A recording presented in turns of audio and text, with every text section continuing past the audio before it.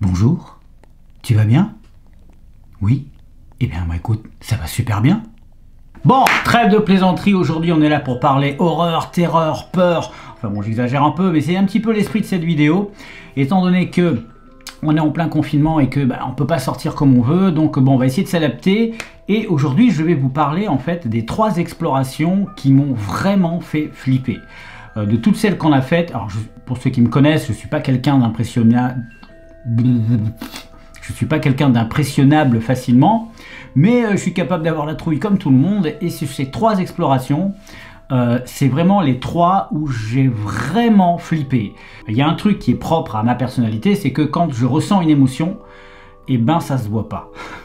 Je, je pas, ça fait partie de mon caractère. Quand j'ai peur, je le montre pas.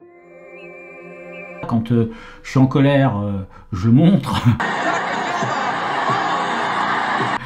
c'est contradictoire, mais bon, il y, a des émotions en tout cas que je montre pas. Bref, je montre jamais que j'ai peur, mais ça ne veut pas dire que je ne ressens rien. Et sur ces trois explorations dont je vais vous parler, ce sont celles où j'ai vraiment, vraiment eu la trouille à tel point que je sentais mon, mon, cœur dans ma cage thoracique qui, faisait baba, baba, baba, baba. Je le ressentais physiquement, ce qui est rare hein, chez moi euh, de vraiment avoir la trouille. Je peux être inquiet, je peux être stressé, mais là, là, il y a des petits moments où je flippais vraiment.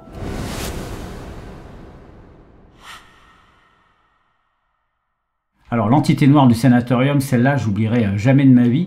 Donc on y soigne des tuberculeux, en tout cas on y soignait des tuberculeux, c'était un truc immense, il y avait des, centaines et des centaines de lits, il y avait 5-6 bâtiments avec des couloirs interminables euh, en pleine forêt. Et dès qu'on est arrivé sur les lieux, la nuit tombait à peine. La première chose que j'ai entendue lorsque j'ai longé un bâtiment où je regardais une grande pièce qui ressemblait à une espèce de dortoir, j'ai entendu une clochette savez, les petites clochettes ding ding ding, ding qu'on actionne pour appeler euh, l'infirmière ou même dans les maisons de riches euh, le, majordome ou quoi. J'ai entendu ces petites clochettes. Au début, je me suis dit, putain, je suis sûr j'ai entendu une clochette. J'ai une grille, j'ai entendu quelque chose, j'ai entendu une clochette. Après, je me suis dit, j'ai halluciné, il y a peut-être du vent, euh, les, il, y a, des fenêtres pétées, le vent s'engouffre. Voilà, c'est facile d'entendre des choses qui n'existent pas. Là où ça a commencé à devenir flippant, c'est que toujours pendant le repérage, et c'est ça qui est con parce que ça filmait pas à ce moment-là, j'avais que mon iPhone on repérait un peu les lieux et les endroits où on allait aller. Et j'arrive dans une cage d'escalier, bâtiment principal, je monte, et arrivé en haut, c'était tout noir, parce que vraiment la nuit tombait et l'intérieur était vraiment très sombre. Et je monte l'escalier, mais il n'y avait pas de rambarde, ce qui fait qu'il fallait faire attention à ne pas tomber. Et du coup, j'arrive en haut, et tout d'un coup, en haut, ma lampe d'iPhone se met à grésiller et à s'éteindre. Le truc qui n'arrive jamais. Alors je ne sais pas si vous, vous avez un iPhone ou même un téléphone portable quelconque, est-ce que votre lampe torche est déjà tombée en panne une seule fois? Et je suis sûr que 99% d'entre vous vont me dire, depuis que les téléphones portables existent, ça n'est jamais arrivé. Et c'est le cas. Je ne connais personne qui a eu un problème de torche. En tout cas, moi, ce soir-là, à cet endroit précis, ma torche s'est mise à grésiller. Elle s'est pas éteinte d'un coup, elle s'est mise à grésiller, comme s'il y avait un bug, et elle s'est éteinte. Jusque-là, ça peut arriver, petit problème technique. Donc je suis dans le noir complet. Là je dis euh, Ingrid, tu peux euh, venir m'aider parce que là j'ai plus, je vois plus rien quoi, je vois plus et je savais que c'était dangereux quoi. Je vois plus rien. Et à ce moment-là, elle me répond, bon je sais plus trop ce qu'elle me répond et je réalise que j'ai mon écran, mon écran, mon fond d'écran. Donc j'allume mon fond d'écran, j'éclaire mes pieds et je regarde, ok, il y, avait le vide, hein, mais bon, je prends, je reprends les marches et j'arrive à redescendre comme ça on finit le, repérage et on va manger. Tout d'un coup, on se dit, tiens, si on allait voir un petit peu l'historique, voir s'il y a des trucs sur internet sur ce sanatorium. Et on tombe sur un reportage de France 3, il me semble que c'était, ouais, je crois que c'était France 3, où il y avait un père de famille qui racontait que son fils était mort dans ce sanatorium euh, deux ans ou trois ans avant. En fait, il avait fait une chute. Alors, je vous raconte le contexte. Le gamin était avec ses potes euh, de nuit et ils sont allés dans le bâtiment où on était, nous, euh, quelques heures avant. Le gamin est monté jusqu'en haut, et en haut, il est éclairé avec son téléphone. Sa lampe s'est mise à grésiller. Il était exactement à l'endroit où j'étais. Hein. La lampe s'est éteinte. Il a, il a demandé à ses copains de venir l'éclairer. Ses copains n'ont pas répondu ou n'ont pas percuté. Lui, il a décidé de redescendre par ses propres moyens. Il a fait un pas en avant et il est tombé dans le vide. il s'est écrasé en bas. Donc il est décédé. Et là, lorsque tu regardes ça, ben tu te dis euh, waouh Là, il s'est passé un truc, quoi. Coïncidence? Ouais, peut-être. on peut pas, on peut pas exclure d'emblée euh, la coïncidence. Mais combien statistiquement y avait-il de chances pour que je me retrouve exactement au même endroit que ce gamin, dans le même contexte, en m'éclairant avec une lampe, que la lampe tombe en panne exactement au même endroit, et que je me retrouve dans la même situation de choix, est-ce que j'avance ou alors est-ce que je trouve une autre solution? Franchement, vous auriez fait quoi vous? Là, j'avoue que quand on était au McDo, j'ai eu mon cœur qui s'est emballé dans ma cage thoracique, baba, baba, baba, en me disant, mais putain, mais où est-ce qu'on met les pieds? Parce qu'on n'avait pas commencé l'explo, on, allait y retourner, on allait y retourner après. Deuxième chose, l'ombre noire. Alors ça, c'est un truc qu'on a vraiment filmé. Alors, on peut avoir beaucoup de théories. Effet d'optique, enfin, optique, euh, voilà, le matériel. Franchement, j'ai pas d'explication. Euh, j'étais en train de faire des plans de coupe. Dans les plans de coupe, c'est quoi? Ben, C'est que euh, après avoir filmé euh, plusieurs fois où je parle, ben, après je, tourne des plans un peu pour agrémenter un petit peu. Voilà, je prends les couloirs, le plafond, les pièces, etc. Donc à ce moment-là, je ne regardais pas précisément ce que je filmais. Donc j'enclenche la caméra et je fais un plan du couloir. Après, je filme mes trucs, etc. Et c'est rentré après à, à Bordeaux qu'en regardant les rushs, je tombe sur ce truc hyper bizarre. On distingue clairement une ombre noire qui passe à travers le mur. Alors, ce qui est chiant, c'est que on ne la voit pas quand elle était au milieu du couloir, parce que peut-être qu'elle était au milieu du couloir et qu'elle est passée comme ça. Moi, j'ai appuyé sur enregistrement au moment où elle disparaissait, ce qui fait qu'on ne voit que, qu'un bout en fait. Mais on le voit suffisamment bien pour se rendre compte que ce n'est pas un mouvement de caméra, parce que ma caméra elle est fixe et on voit ce truc qui passe dans le mur. C'est après coup donc que j'ai eu un coup de flip en regardant les rushs en me disant putain, on était là-bas à ce moment-là, quoi. On était là-bas à ce moment-là. Et c'est là que vous vous dites, alors moi je crois au paranormal, mais je vous le dis, je le dis toujours quasiment dans toutes les vidéos, mais je ne crois pas à n'importe quoi non plus. Mais c'est là où je me dis, putain, si ça se trouve, on a ramené un truc avec nous, quoi. On a ramené une saloperie qui va se coller à nous et, nous foutre la merde, quoi. J'ai pas pu m'empêcher de, Voilà, mais comme je. Voilà. Il y a des choses euh, que je pense euh, possibles et d'autres moins. Euh, par exemple, les gens amateurs de paranormal ou les professionnels du paranormal disent que tu peux ramener un mauvais esprit avec toi, il s'accroche à toi et après il te fout la merde dans ta vie. Ça veut dire il t'apporte de la malchance ou alors il, te rend plus ou moins dépressif. Enfin bon, des trucs comme ça. Moi, j'y crois pas trop. Enfin, j'y crois pas trop. Je suis tellement sceptique qu'en fait, les amateurs de paranormal disent qu'effectivement, quand tu es sceptique, tu crées une barrière et un esprit va avoir beaucoup de mal à s'accrocher à toi. Par contre, quand tu es ouvert fragile psychologiquement ou tu laisses entrer ces choses-là, et eh ben pour eux c'est une porte ouverte et c'est très simple de venir euh, t'embêter. Donc euh, voilà, avec ça je me dis ok euh, c'est arrivé, mais je suis pas trop inquiet sur le fait d'avoir ramené un truc avec moi. Mais par contre, ça je risque pas de l'oublier.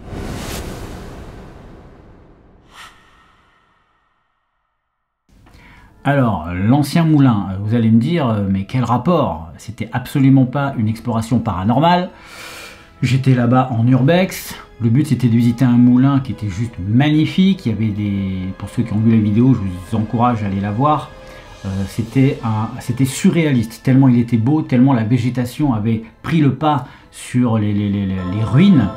Et on avait l'impression d'entrer dans un autre monde à tel point qu'à un moment donné, un endroit, on, on se serait cru dans, euh, dans un film de sorcière avec des arbres un peu euh, torturés.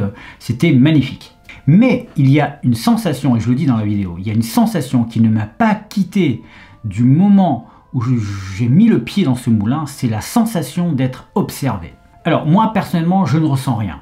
Je, enfin, pas plus que le commun des mortels. Euh, je veux dire, je, ne ressens pas les esprits, je ne ressens pas euh, euh, ces trucs-là. non, moi je suis un cartésien, j'observe, j'ai l'esprit ouvert, mais j'observe. Mais j'ai jamais ressenti ça en fait. Euh, quand j'entrais dans un lieu, mettons même au sanatorium, j'ai pas, j'ai rien ressenti de particulier. J'ai vécu des situations, j'ai vu des choses, mais j'ai rien ressenti.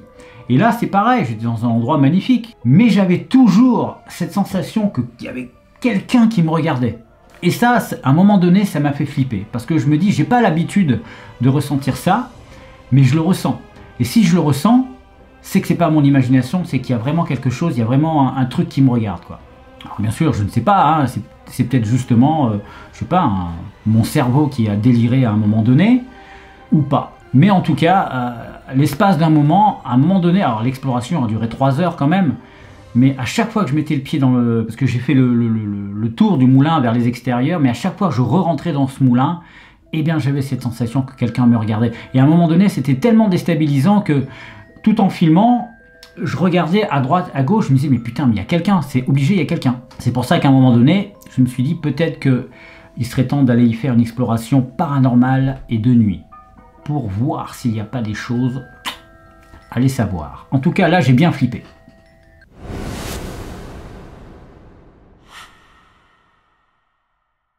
Alors, la maison des morts. Celle-là, je la mets au même niveau que, que l'entité noire, parce que là, c'est même un cran au-dessus, je dirais. Euh, là, euh, j'ai vraiment eu ce qui se rapproche le plus d'un contact physique avec quelque chose. Je n'ai toujours pas de réponse. D'accord? Je ne vous dirai pas c'est un fantôme, euh, une entité, je ne sais quoi. En tout cas, ce qui est sûr, c'est que ce n'était pas ce que je pensais que c'était au départ, un oiseau. Je vous explique. On arrive dans les sous-sols, alors j'abrège, hein, voilà, c'est un, ancien château qui était à une époque appartenait à quelqu'un qu'on appelait Jacques le Sanglant, qui avait l'habitude d'assassiner euh, son personnel, bref. Et arrivé au sous-sol, en fait, on arrive dans une pièce tout au fond, mais c'était vraiment tout au fond. Il n'y avait pas moyen de remonter en deux secondes. Hein. Pour remonter en haut, il fallait traverser tout le couloir, c'est-à-dire une bonne soixantaine de mètres, remonter l'escalier, reprendre des couloirs, reprendre la fenêtre. Enfin voilà, c'était super long. Donc là, tu te sens vraiment enfermé. Et à un moment donné, Ingrid quitte la pièce, va dans une autre pièce, et moi je reste dans la pièce où je suis, et je commence à vouloir faire mon plan sur, euh, la porte. Et derrière moi, il y avait tout un tas d'étagères posées, euh, empilées.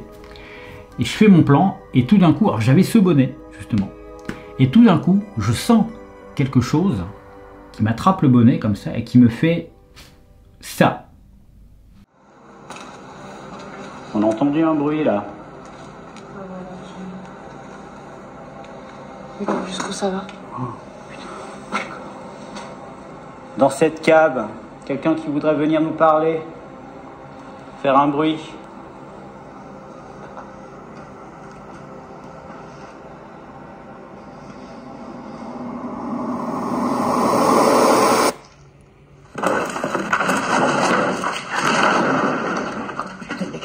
tirer le bonnet en arrière.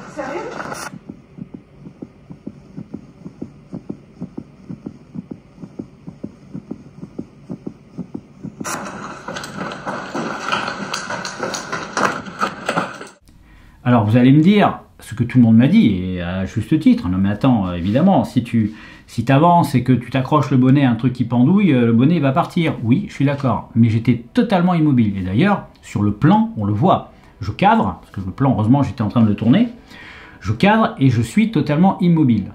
Et le bonnet, il n'a pas, je veux dire, il n'a pas fait ça. Euh, non, il n'a pas fait juste ça, voilà. J'ai senti une force, quelque chose qui tirait en arrière, qui tirait en arrière, comme ça. Je me suis retrouvé avec le bonnet là. Enfin, je sais pas, imaginez quand même. C'est pas, c'est pas anodin. Qu'est-ce qui s'est passé? Le bonnet a été tiré. À ce moment-là, surpris, j'ai fait un pas en arrière. Je suis tombé, mon pied a buté contre une des étagères qui était par terre, et je suis tombé en arrière et j'ai explosé toutes les étagères. Bla énorme bruit, la caméra, machin, bla Et à ce moment-là, j'ai pas conscience que j'ai trébuché et que c'est par la surprise que je suis tombé. Dans ma tête, à ce moment-là, ça va très vite. On m'a tiré le bonnet en arrière, et au moment où je tombe en arrière, je me dis quelque chose me tire en arrière et me force à tomber par terre. Et au moment où je tombe, je me dis, il n'y a qu'une chose à faire là, fuir. Fuir le plus vite possible. En plus, avec le bruit des étagères qui explosent, ça ne vous met pas dans les meilleures conditions pour avoir un raisonnement rapide, logique et pragmatique. Hein. La seule chose qui prime, c'est instinct de survie. Je me relève et dis à Ingrid, cours, cours, cours, on se casse, on se casse, il y a un truc qui m'a tiré le bonnet. Alors dit comme ça, c'est quand même un peu drôle. Hein. J'ai même du mal à croire je l'ai dit en ces termes, mais c'est ce qui est sorti de ma bouche. Et on se met à courir dans le couloir. D'ailleurs, la, scène que vous voyez à la fin du générique de nos explorations, euh, c'est la scène de fuite euh, où on part. On court, on sort, et là je reprends mes esprits, mais alors j'avais le, cœur qui était à 170 là. Là je ne comprenais pas ce qui s'était passé. J'étais persuadé, pendant toute la période où je courais, que j'avais été attaqué c'est quand même incroyable d'arriver à imaginer ça. Moi qui suis le euh, hyper sceptique, je me disais, j'ai été attaqué, quelque chose m'a attaqué. Et j'ai réalisé que oui, j'avais trébuché, que c'est moi qui suis tombé tout seul, que le contexte a fait que ben, j'ai paniqué tout simplement. Et par contre, l'énigme, c'était le bonnet. Pourquoi mon bonnet est parti en arrière? Et c'était tellement une énigme que je me suis dit, on va y retourner. On va y retourner avec un pote, un ami qui s'appelle Jean, et on va refaire un explo, et on va retourner dans cet endroit et chercher des, réponses. On y est retourné. Première hypothèse, quelque chose qui pendait du plafond, peut-être un, petit fil en, métal, et peut-être, bon, allez, admettons, euh, qui aurait pu s'accrocher, et euh, j'en sais rien, peut-être que moi, si je me suis baissé d'un coup comme ça, le bonnet est parti, voilà, on a commencé à élaborer des théories. Et on a vu que c'était pas possible, parce qu'en visionnant les rushs, la caméra ne bouge pas, et que si j'étais descendu de mes positions, on aurait vu le plan descendre, on aurait vu le plan bouger, c'était pas possible. Donc ça c'est la première chose. Deuxième chose, et c'était ma théorie, un oiseau. Un oiseau qui passe, enfin je sais pas, une chauve-souris, parce que dans ces endroits-là c'est surtout des chauves-souris, une chauve-souris euh, arrive et euh, accroche mon bonnet avec sa griffe ou quoi, sans le vouloir, et puis euh, voilà, comme ça peut arriver à certaines personnes qui ont les cheveux longs, hein, d'où la légende que les, chauves-souris s'accrochent dans les cheveux, attaquent les gens qui ont des cheveux longs, c'est entièrement faux, c'est une légende urbaine. Au contraire, les chauves-souris feront toujours tout pour vous éviter, mais un jour, il y a une conne avec les cheveux longs qui s'est retrouvée au milieu de 3-4 chauves-souris, elle a commencé à faire ah, comme ça, ses cheveux ont commencé à faire ça, et évidemment, la pauvre chauve-souris qui passait au même moment, elle s'est pris dans les cheveux. Et voilà comment une légende urbaine, bref, je passe. Je m'égare. Donc, la théorie d'un oiseau. Et là, on cherche, parce que s'il y a des chauves-souris, il y a forcément du guano, hein, c'est-à-dire de la merde de chauve-souris, et ça, ça a une odeur particulière. Donc, il n'y avait pas de guano. On a regardé s'il y avait des nids ou s'il y avait des chauves-souris qui dormaient dans les coins. En général, les chauves-souris font leur. Euh, tu sais, elles dorment à l'envers. On n'a vu aucune chauve-souris, que ce soit au rez-de-chaussée, au premier étage, au sous-sol, pas une chauve-souris. Alors que la plupart du temps, on n'en cherche pas, mais quand il y a des chauves-souris, elles viennent toujours. Elles ont peur ou elles sont attirées par la lumière, euh, elles sont quasi aveugles. Mais bon, en tout cas, quand il y a de l'agitation, en général, ça les, euh, ça les excite. Aucune chauve-souris, rien. Alors, on en est toujours aujourd'hui à se poser la question qu'est-ce qui s'est passé? C'est pour moi inexplicable pour l'instant. Inexplicable ne veut pas dire paranormal, mais ça n'empêche que j'ai eu la trouille de ma vie ce jour-là. Ok, donc avec le recul, euh, je vais essayer de garder l'esprit ouvert et de me dire ok, admettons, avec des énormes guillemets, admettons que c'est paranormal, que une entité, un esprit, a voulu m'attraper le bonnet je dirais qu'avec le recul, il n'a à aucun moment voulu être méchant. Je pense que c'est, je pense que chez les esprits, il y a des esprits gentils, des esprits farceurs. Et je pense qu'il a simplement voulu me faire une farce. Euh, voilà, il m'a tiré bonnet en arrière comme un gamin le ferait, comme vous le feriez dans la rue avec un pote. Euh, voilà, parce que euh, si c'est ça, hein, attention, je mets des guillemets encore. Hein, si c'est ça, je ne me suis pas senti ben, j'ai pas été frappé, j'ai pas été griffé, comme certaines personnes ont pu le voir après être allé dans des endroits bizarres. Hein. ils se retrouvent avec des griffes quand ils se déshabillent chez eux. Il n'y a pas eu de, PVE, il n'y a pas eu de voix enregistrée par le micro qui pouvait être menaçante ou quoi. Il y a vraiment a eu, il y a juste eu ce, ce foutu bonnet qui est parti en arrière. Et si c'est une entité, je pense qu'elle a voulu simplement me faire une farce. Et si ce n'est pas une entité, eh bien, s'il vous plaît, si vous avez une théorie, dites-la moi. Tout et n'importe quoi, je suis preneur parce que là, je suis vraiment encore avec des gros points d'interrogation. Je ne sais pas ce qui s'est passé. Voilà, cette vidéo est terminée. Si ça vous a plu, laissez-nous un petit commentaire et mettez-nous un petit pouce bleu. Pour nous, c'est super important. Ça nous permet d'une part d'avoir une relation interactive et directe avec vous. Et en même temps, ça nous permet de nous motiver à faire toujours plus de vidéos. Voilà. Je vous fais un bisou, je vous dis à bientôt. Bye